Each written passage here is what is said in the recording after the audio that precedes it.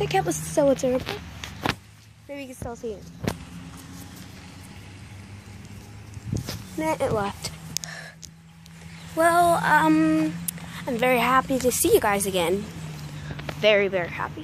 I've been wondering and wondering when am I ever gonna see you again, and then then I, it's I got school in the middle, and it's been very, very special to me.